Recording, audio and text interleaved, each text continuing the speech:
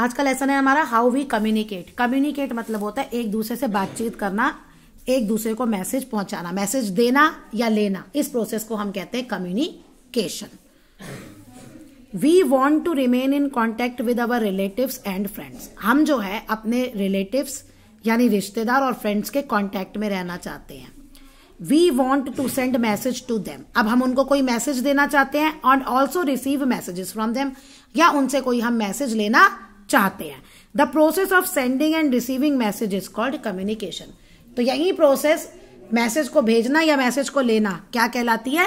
Communication we can communicate with our relative and friends through letters telephone fax और email हम कैसे communicate करते हैं? मैसेज देते लेते हैं अपने रिलेटिव्स या फ्रेंड्स से। लेटर्स लिख के, जो आजकल इतने नहीं चलते। टेलीफोन चलते हैं ना मोबाइल टेलीफोन टेलीफोन ही कर देते हैं। फैक्स फैक्स एक मशीन होती है, जैसे तुमने यहाँ कुछ टाइप किया तो वहाँ जहाँ दूसरे जिसको मैसेज देना चाहते हो ना, उस पर वो प्रिंट हो जाएगा। और ईमेल ईमेल कंप्यूटर पे भेजते हैं। तो बेसिकली जो आजकल ज़्यादा यूज़ होता है ना मेथड वो ईमेल और टेलीफोन होता है।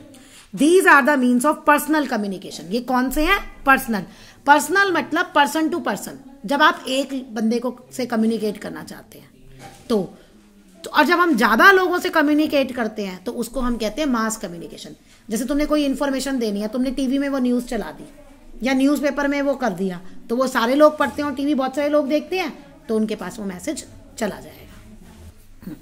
Sometimes we want to contact a large number of people at a time एक समय पर हम लार्ज नंबर ऑफ़ लोगों से कॉन्टेक्ट करना चाहते हैं। तो we can communicate through newspaper newspaper से रेडियो से टेलीविज़न से। They are means of mass communication अब देखो, इसका बेस्ट एग्ज़ाम्पल है मास कम्युनिकेशन का। अब हम व्हाट्सअप यूज़ करते हैं। व्हाट्सअप पे मैं ग्रुप बना लेते हैं ना। और जब मैं एक मैसेज लिखती हूँ तो वो ग्रुप में जितने भी लोग होते हैं, सबके पास चला जाता है ना तो वो भी। और व्हाट्सअप में पर्सनल पर्सन टू पर्सन भी जाता है। जब आप अकेले किसी को करते हो तो एक को जाता है, और जब ग्रुप में करते हो तो बहुत सारों को जाता है। तो व्हाट्सअप दोनों में आता है पर्सनल में भी और मास में भी। तो ये ऐसे ये बता रहे हैं। मैनी ईयर्स अगो कहते बहुत साल पहले पिजन्स पिजन्स होते थे used to bring and deliver message उनको मैसेज यूज़ किए जाते थे मैसेज लाने के लिए और मैसेज भेजने के लिए। लेटर और बाद में आदमी used to run man used to learn run on the foot और ride animals to do this work जो राजा महाराजा होते थे, कुछ भी होते थे तो लोग आदमी जाते थे या घोड़े पे वो बिठा देते थे एनिमल्स को यूज़ करके वो लेटर्स लेके जाते थे। These methods were slow and took a long time ये मेथड जो थे, छोटे हैं और लंबा समय इनमें लगता है। डिलीवर होने में लंबा समय लगता the new means of communication are easy and fast लेकिन अब जो नए मेथड है, ये ईमेल टेलीफोन उसी समय चला जाता है ना मैसेज ये फास्ट है और इजी आसान है। Letter is the most popular means of communication in our country हमारी कंट्री में लेटर जो है, वो बहुत पॉपुलर मीन है। फ़ेमस है। गाँवों में अभी भी यूज़ होता है। The letter were sent through post office post office के थ्रू लेटर्स दिए जाते हैं। The urgent letters can be sent through speed post और कोरियर सर्विस इनमें क्या होता है? पैसे थोड़े ज़्यादा लगते हैं एक्सपेंसिव होता है ये, लेकिन मैसेज इसमें जल्दी चला जाता है। जो तुम लेटर दोगे ना तो वो जल्दी चला जाएगा, जिसके पास तुम्हें भेजना है। India has largest postal services in the world India में सबसे ज़्यादा है। क्यों? क्योंकि इंडिया के गाँवों में अभी भी ये पोस्टल सर्विसेज़ यूज़ होती हैं। अभी भी नेट नहीं पहुँचा बहुत जगह। तो लोग यही मेथड यूज़ करते हैं। नेक्स्ट है if the message is short अगर वो शॉर्ट है और ब्रीफ में देना है आपको तो it can send through S M S short message service के through messages that can be send instantly through a fax machine और बाय ईमेल। तो वो मैसेज जो छोटे होते हैं, किसके, एकदम से हम किसके थ्रू भेज सकते हैं? फैक्स मशीन और ईमेल। टेलीफोन जो है वो fastest means of personal communication है। ये तो सभी जानते हैं। बहुत जल्दी। उसी समय बोला, उसी समय पहुँच गई वहाँ पे दूसरी तरफ़ voice nowadays mobile phones are very popular everywhere अब कौन से मोबाइल फोन्स पॉपुलर हो रहे हैं? They help us to talk to our relative and friends any time any कभी भी आप बात कर सकते हो और कहीं भी। पहले तो लैंडलाइन होते थे, घर में होना ज़रूरी है ना, अब तो मोबाइल है, कहीं भी आप बात कर सकते हो। मोबाइल में बहुत सारे फीचर्स होते हैं, और उनको हम क्या कहते हैं, जिनमें बहुत सारे फीचर्स होते हैं, उनको स्मार्टफोन्स कहते हैं। ये ये सब आप काम करते हो ना? कॉल्स करते हो और भेजते हो मैसेज भी भेजते हैं म्यूज़िक भी सुनते हैं इंटरनेट पे भी जाते हैं फोटोग्राफ्स भी देखते हैं वीडियोस भी रिकॉर्ड करते हैं। अगर से पढ़ाते हो, इस समय मैं मोबाइल पे ही रिकॉर्ड कर रही हूँ ना। तो ये जो फ़ोन होते हैं, जिन पे हम ये सब काम करते हैं उनको हम कहते हैं smartphone the means of mass communication can spread the message to every part of our country और इन द वर्ल्ड अगर आप मास कम्युनिकेशन यूज़ कर रहे हो तो मैसेज हमारी कंट्री के हर पार्ट में या पूरे वर्ल्ड में वो चला जाता है. The message can also be repeated और वो मैसेज को आप दोबारा दोबारा रिपीट कर सकते हो.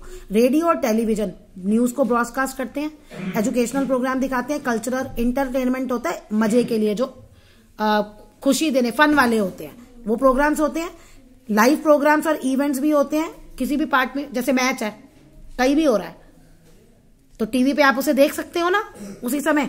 तो टेलीविज़न जो है, वो हमारी कंट्री में बहुत ज़्यादा पॉपुलर मीन है। क्यों? क्योंकि ज़्यादातर विलेजेस है, वहाँ पे इंटरनेट अभी पहुँचा नहीं है फैसिलिटी तो लोगों का वही पुराने चलते आ रहे हैं टेलीविज़न और लेटर वाले method the latest method of long distance communication is now man made satellite अब जो लेटेस्ट कम्युनिकेशन हुआ है, वो क्या है? मैन मेड सैटेलाइट यानी जो आप मोबाइल यूज़ करते हो। आज आप मोबाइल से व्हाट्सअप कॉल, आप इंडिया में बैठे हो तो अमेरिका में कोई है, उसको कर सकते हो। वो पहले नहीं होता था।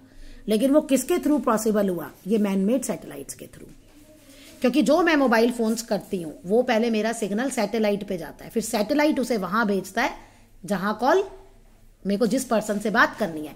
अब वो चाहे इंडिया में है, चाहे वो इंडिया से बाहर है। These are placed above high above the earth earth में बहुत ऊपर, जैसे मून चक्कर मार रहा है ना अर्थ के, ऐसे ये भी अर्थ का चक्कर मारते हैं सैटेलाइट नाम है ना, और बहुत ऊपर अर्थ में इसे प्लेस किया जाता है। They can collect information and send it immediately तो ये इन्फॉर्मेशन लेते हैं और उसे जल्दी से भेज देते today computers are widely use in communication आजकल कंप्यूटर्स कम्युनिकेशन में बहुत यूज़ होते हैं। कंप्यूटर पे बैठ के ही होता है ना व्हाट्सअप ईमेल सब करते हो ना मैसेज वगैरह।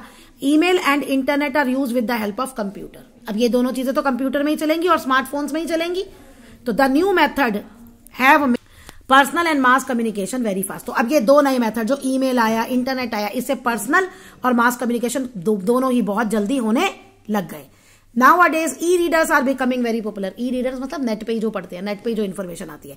E reader is the size of a big cell phone क्या है? ई रीडर जो है वो क्या साइज़ है? बिग सेल फ़ोन का साइज़ है। E reader are use to read e books e readers जो है वो क्या करते हैं? ई बुक्स पढ़ते हैं। मतलब कि जो भी इंटरनेट पे है वहाँ से डाउनलोड करके। One can download from internet and save e books in the e reader and can read only one of those books any time तो आपने डाउनलोड गए, आप इंटरनेट पे गए, जो भी आपको पढ़ना है ई बुक्स में लिया, आपने डाउनलोड कर दिया उसे ई रीडर में और आप उसे कभी भी पढ़ सकते हो।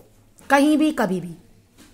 The old and new means of communication help us to keep contact with our relative and friend तो ये जो नए और नए और पुराने, जो दोनों मेथड है कम्युनिकेशन के, वो हमारे फ्रेंड्स और रिलेटिव से हमें कॉन्टेक्ट रखने में मदद करते हैं।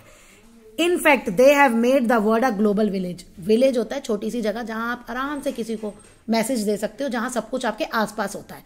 तो इंटरनेट ने हमारी पूरी दुनिया को एक ग्लोबल विलेज बना दिया, यानी अब कहीं भी हम बात कर सकते हैं और कहीं भी अपना मैसेज पहुँचा सकते हैं, चाहे वो कितनी दूर क्यों ना हो इंटरनेट यूज़ करके।